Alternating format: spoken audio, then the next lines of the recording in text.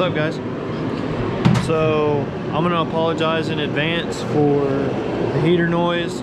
You're just gonna have to get over it. It's cold. Today it's like what, 31? Feels like Feels like 31, whatever. It's cold as shit. Uh, so we got the heater on. You're gonna have to deal with it. Sorry. Uh, most of this is gonna be time lapse anyways, but we'll go over, you know, shit that I feel like some people should know that I feel like some people don't know. So spill a little knowledge. If y'all can use it, cool. If you already know, then tell me I already knew that, or no, that's not true. You gotta do it like that, whatever. I'm just trying to help people out. If you're going to a junkyard or getting a eh, getting a pull out or anything like, there's really simple stuff to look for. This motor is a 6.0. Uh, this will be for Chris's dually.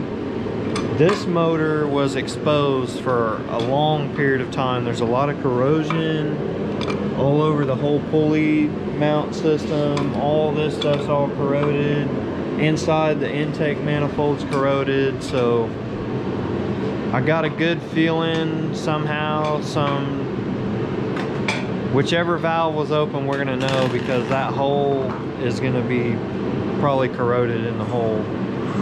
But anyways we're gonna bust this one apart and then if we're doing really good on time we'll bust the 5.3 apart too.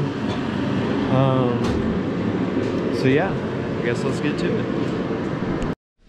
There you go. Don't be afraid to get it down in the holes. They're already fucked so we lifted the intake manifold off and uh, God, knock sensors. yeah, she's plumb full of shit. Heads don't look so great down in there. We'll see. Get these old girls busted off. I hope they uh they hot bath good because man the top side of these look really good. We're about to find out.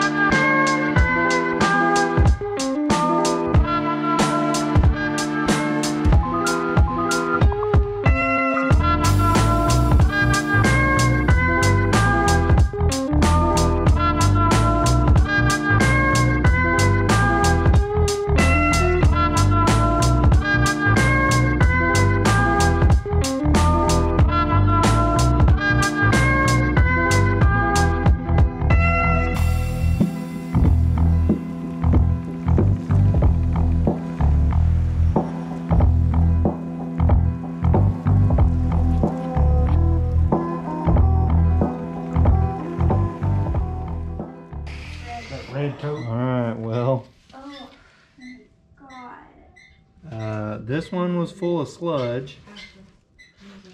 This one was full of. Corrosion Uh, dust. yeah. and I mean, it was like a whole handful. is for sure rust. That would be why we're locked up. Man, dude. Well, we gonna find out if this block's usable or not. Nothing else. We can Bore over and it sleeve over and sleeve it and use it in your race truck. You talking about some money on that one. Bust this other one off. See what we got over here.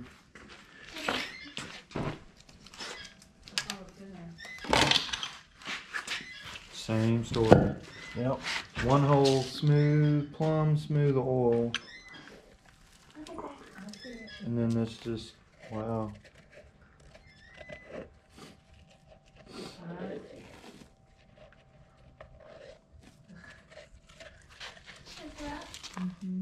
See? Yeah, these are puckered up, bud. So, from what you're seeing here,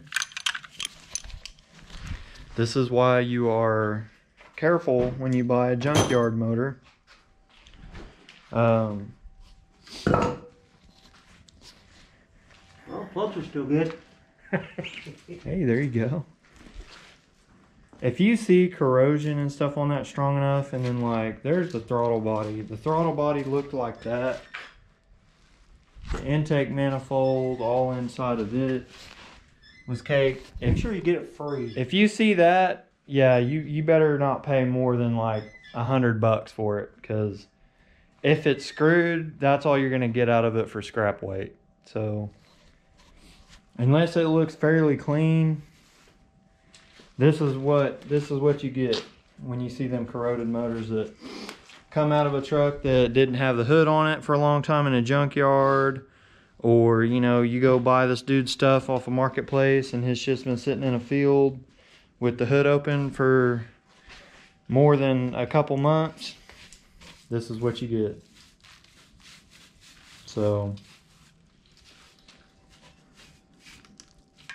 we'll continue taking this one down to what we can take it down to and take it up to work see what see what old mcdougal says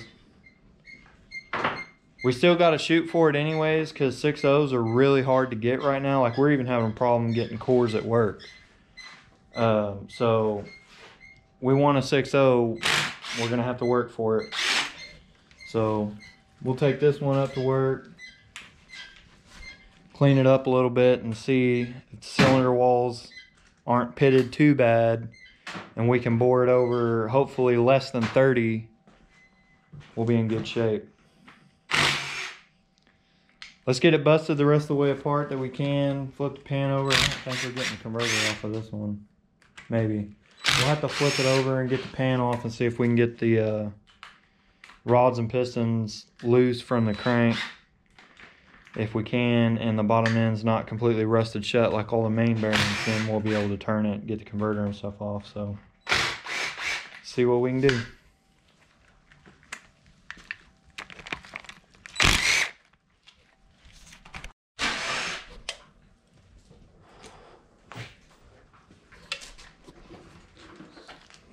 All right, so we got the pan off. Pan's got a little bit of, you know, the bullshit sludge that you could expect when oil mixes with water. And I mean, we can't see what's in the bottom bottom because there's so much sludge, but we for sure have two pistons that got very hot. They're bubbled and collapsed and damn near halfway melted. So, um, we're still in a sticky spot. We look down in the cylinder holes from this side and they don't look terrible. It's not like any of that sediment really made it down here. So what we're gonna try is, uh, Chris has been fighting unbolting the main caps and then also the, uh, some of the rod caps. We're gonna be in a poopy situation on some of them will be hard to get to, but we'll figure it out.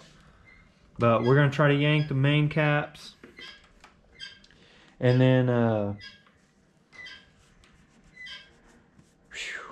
it's gonna be a tough one guys but we'll see. We're gonna try to pull the main caps and then try to uh see if we can pull the rod caps and start hammering pistons out from the bottom side and hammer them out the top.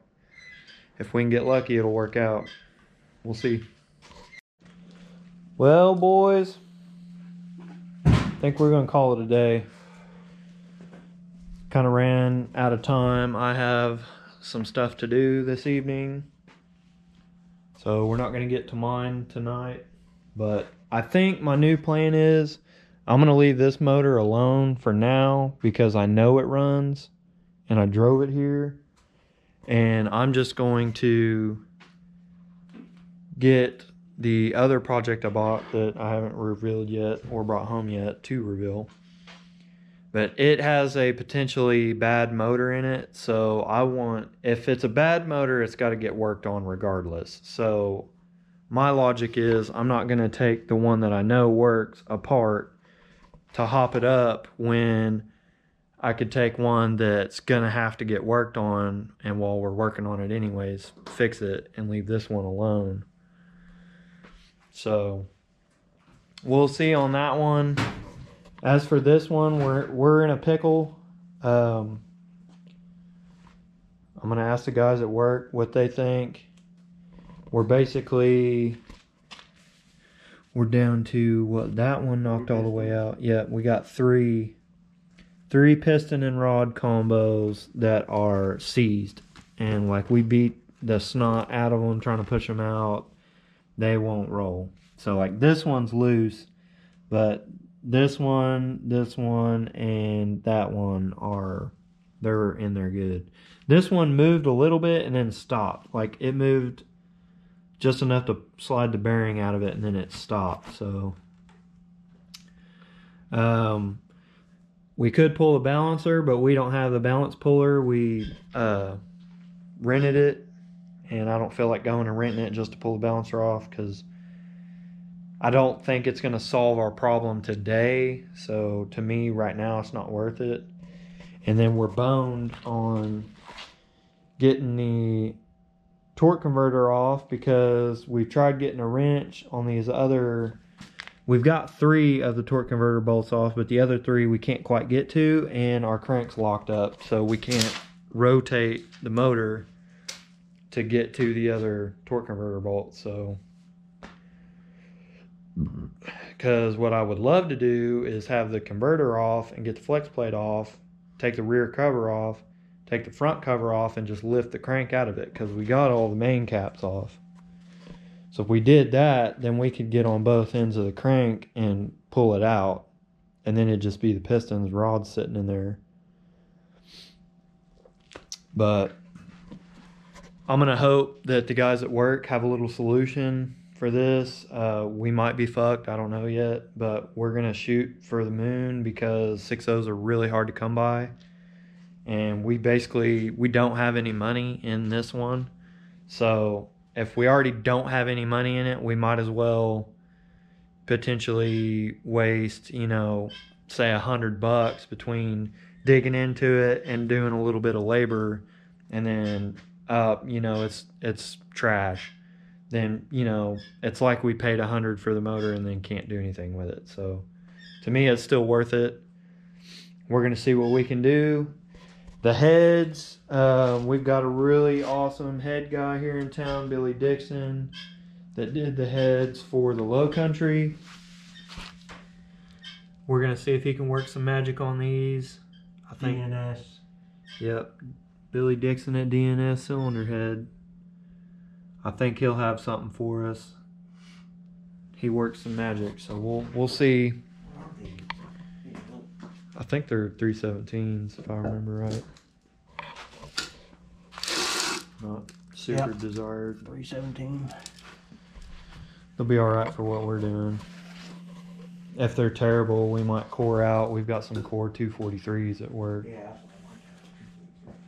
So we'll see how bad these are. If they clean up, I'd still pay Billy the uh, 250 or 300, whatever it is, to clean them up, and then we could sell them. Even if we weren't going to use them, we can still only have 250 or 300 in the heads and sell them for 400 bucks. As used heads, get our money back out of them, and then make a little bit of a little bit of something. But that's going to be it, guys. Um, maybe this is a, a little bit of a eye opening for some people who are thinking about getting junkyard motors and haven't ever messed with it yet. Um, here you go. This is typically when you see a motor that's really sludged over and's had a bunch of leaks. Usually those are okay because if it leaks oil, it has oil in it.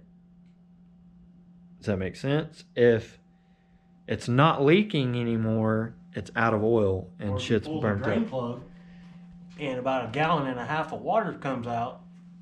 You probably you probably got a problem. Yeah. So what I'm gonna say, I'm not super educated. I'm sure the guys at work will put together a better hypothesis, but my idea is because two of the pistons. That's funny that there's three stuck because there's two of them that are like just pitted and all warped and like mushed on top. So we're gonna say that it got hot. It either got really lean and just torched a head gasket and piston, or they overheated it, ran out of water or something. But I really think a head gasket failed, and that's what allowed stuff to start getting into the combustion chamber, and then it just sat for who knows, maybe two years. Just sat with no hood on the truck, so the upper water pump uh, neck this one right here was wide open, didn't have nothing on it, so anything could go down in there. So that filled the block water holes with junk. And then if the head gasket was pooped, every time it rained, it would wash that dirt through the head gasket into the combustion chamber. That's my theory. I don't know if that's how it worked, but I figure if it was setting for two years like that, that's what happened. Because there's just shit just just caked in here. One of those no, one cylinder on each side was just packed full of this like brownish tan dirt.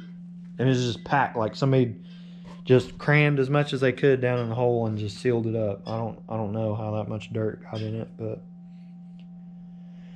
that's it for this one. We're getting started. We're making a little progress.